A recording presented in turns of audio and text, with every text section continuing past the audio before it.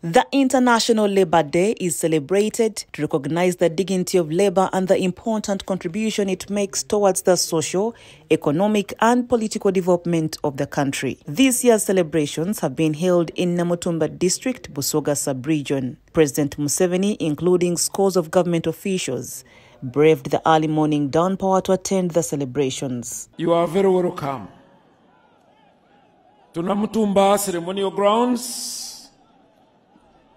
and everybody is here cheerful and ready to share the honors of today with you. On arrival at Namutumba Playground, where the celebrations have been held, the president started with the inspection of the parade, which was mounted by the UPDF, police, prisons, among other security organs. Economic growth and employment are key elements of the transformation of any nation in the world.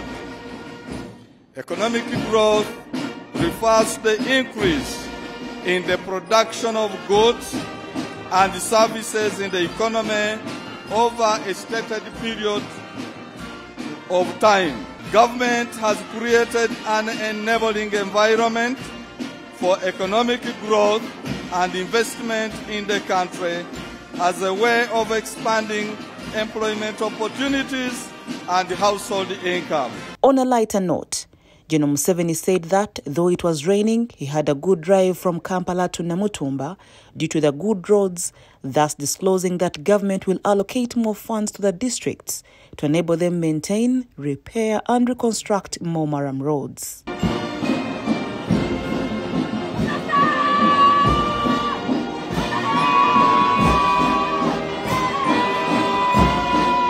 Had a good drive from Kampala in the rain. It was very nice. And the road is, is good all the way from Kampala up to here. Therefore, when we talk of the bad roads in Kampala, you should not forget that there are good roads up country also. The president promised that he will soon have a meeting with the labor organizations in the country to draw more strategies on creating more jobs. Optimistic that if the parish development model is implemented well, it can create millions of jobs, but most importantly, commercial agriculture, factories, and services cannot be underestimated in job creations. According to the minister, she told us that about 10, 10, 10 million or 11 million people have jobs now. I, there are others who don't have jobs. And therefore, when we, we, we are dealing with labor issues, we should be discussing how to create more jobs.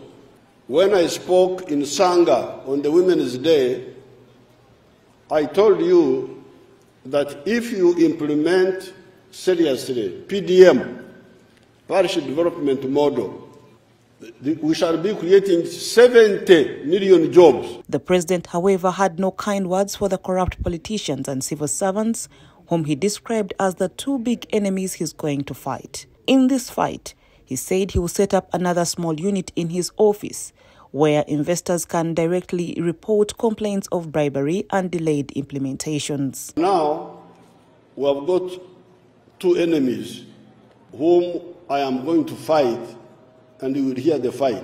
Mugenda kuwulira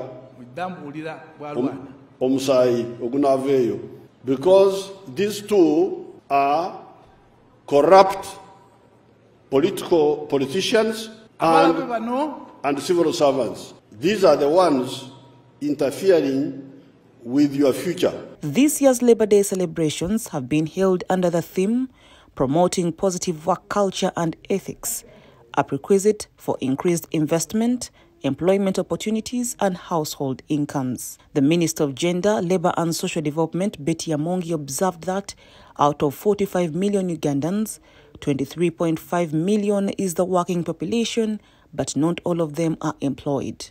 She pointed out the unethical behaviors that are costing the country because some workers choose to do their work in a shoddy manner. About 69 of the working population are below 35 years, indicating that there is a youth bulge which is mounting pressure on the job market, and most of the youth in the informal economy work under vulnerable conditions.